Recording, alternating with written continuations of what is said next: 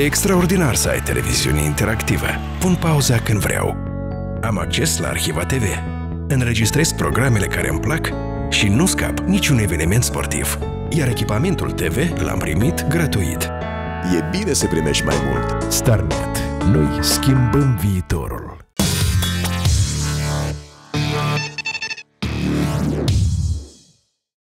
Partener al emisiunei Starnet. Viitorul începe cu tine.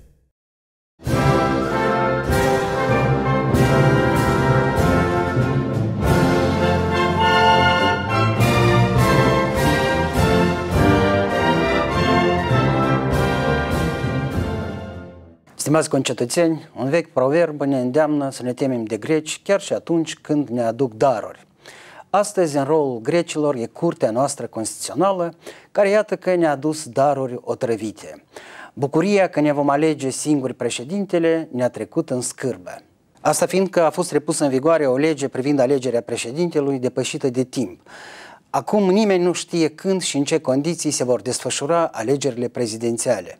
Ca să înțelegeți farmecul situației în care ne-am pomenit, trebuie să știți că, potrivit legii, președintele ar fi trebuit să fie ales deja în 14 februarie, exact de ziua Sfântului Valentin. Parlamentul trebuia să numească ziua alegerilor până la 14 noiembrie, încă anul trecut, așa că mișmașurile magistraților constituționali ne-au băgat în ceață. Bine, acum e momentul să vedem cine va putea participa la acest joc. Potrivit legii, pentru a participa la alegerile prezidențiale, toți candidații trebuie să colecteze semnături, inclusiv cei din partea partidelor politice. Păi iată, cei care se văd deja în funcția de președinte de țară vor trebui să adune în aproximativ două luni de zile câte cel puțin 170.000 de semnături, în 16 raioane și municipii câte cel puțin 10.000 de semnături în fiecare raion.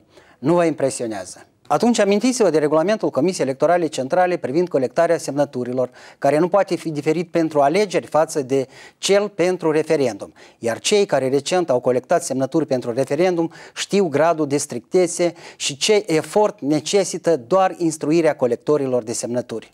Ca să aveți o închipuire despre colectarea semnăturilor pentru prezidențiale, vă reamintesc că în 1991 Mircea Snegur a colectat 25.000 de semnături.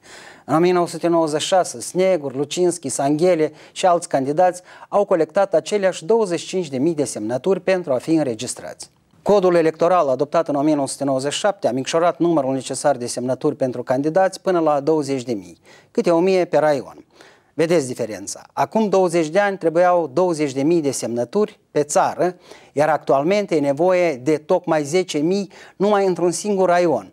Și asta în situația când între timp un milion de cetățeni din cele trei au părăsit țara. Dar să revenim la viitorii candidați. Dacă examinăm atent scena politică din țară, vedem că doar două partide au șanse să-și înregistreze candidații. Partidul Puterii, adică cel democrat, care este putre de bogat și controlează totul în această țară, și Partidul Socialiștilor. Formațiunea lui Renato Usată este scoasă din cărți din cauza vârstii liderului. Nu are rost să vorbim despre Partidul Liberal Democrat sau de Partidul Comuniștilor, care recent pur și simplu s-au prăbușit. Vorba e că nici alt partid al puterii, Partidul Liberal, nu are nicio șansă măcar să-și înregistreze candidatul. Asta din simplu motiv că la parlamentarele din 2014 a acumulat doar 150.000 de voturi, iar de atunci a decăzut semnificativ în ochii alegătorilor. De aceea Partidul Liberal nici nu contestă excluderea din cărțile prezidențiale a lui Dorin Chirtoacă pe aceleași criterii de vârstă.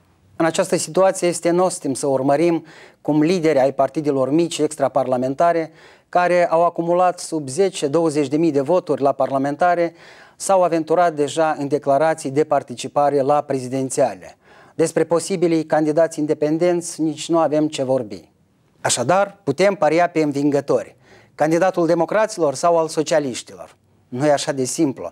La urma urmei, democrații puteau să-și aleagă președintele și în Parlament, exact așa cum și-au numit guvernul prin metode de corupție politică. Acum chipurile sunt nevoiți să se conformeze unor realități noi. Vorba e că e o mâncare de pește să obții funcția de președinte prin corupție politică și e cu totul altceva să pretinzi că ai obținut-o într-o confruntare geopolitică, sub veșnică amenințare a tancurilor rusești. Iată tot farmecul acestei situații. Iar dacă cumva va învinge candidatul socialist, cine va mai avea curajul să conteste guvernarea pro-europeană, așa putre de coruptă cum este, știind că va fi etichetat drept mâna Moscovei? Cum va putea coexista un guvern pro-european cu o președinție pro-rusească? Rămâne o enigmă. Doar până ne dăm seama că guvernare pro-europeană coruptă nu poate exista în principiu. Dar, stimați concetățeni, trebuie să fim optimiști și să înțelegem că nu există probleme fără soluții. Se poate încerca convingerea guvernanților prin intermediul partenerilor de dezvoltare că legea draconică de alegere a președintelui trebuie modificată și adusă la condiția normalității, cum era acum 20 de ani, inclusiv în privința vârstii candidaților. Asta va necesita expertiză și timp, dar ar asigura o competiție electorală cât de cât echitabilă și onestă. Numai că scenariul respectiv ne-ar obliga să amânăm desfășurarea alegerilor prezidențiale către toamnă. Se pare însă că acest scenariu nu convine nici majorității și nici opoziției parlamentare, care se văd oponenți unici, exclusiv. Cel puțin liderul socialiștilor insistă ca alegerile să aibă loc cât mai repede posibil. El poate fi înțeles de ce și-ar complica situația care îl favorizează. Dacă legea electorală nu va fi amendată, atunci opoziția pro-europeană de alternativă pentru actuala guvernare ar putea de principiu să participe la prezidențiale doar identificând și susținând o singură candidatură. Această candidatură trebuie să fie cea mai puțin vulnerabilă și respectiv cu cele mai mari șanse de a trece în turul 2 de scrutin. Asta fiindcă propaganda imperiului mediatic al guvernanților va avea drept țintă predilectă anume candidatul alternativii pro-europene. Măcar așa, Totuși există o șansă față de situația când Partidul Democrat pur și simplu își numește propriul președinte în Parlament. Ne vedem luni. Al vostru, domn președinte.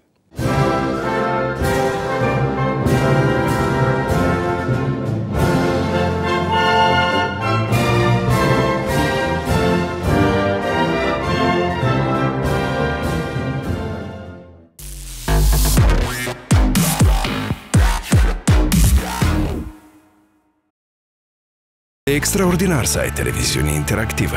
Pun pauza când vreau. Am acces la Arhiva TV. Înregistrez programele care îmi plac și nu scap niciun eveniment sportiv. Iar echipamentul TV l-am primit gratuit. E bine să primești mai mult. Starnet. Noi schimbăm viitorul.